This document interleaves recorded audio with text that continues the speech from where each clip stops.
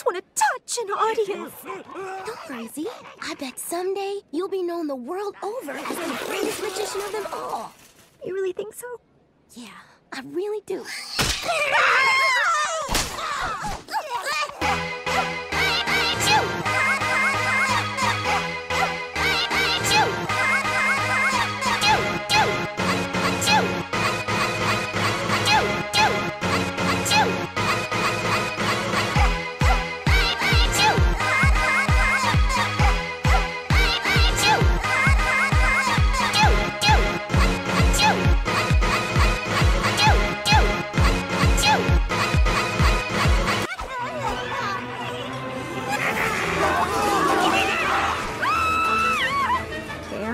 What's happening?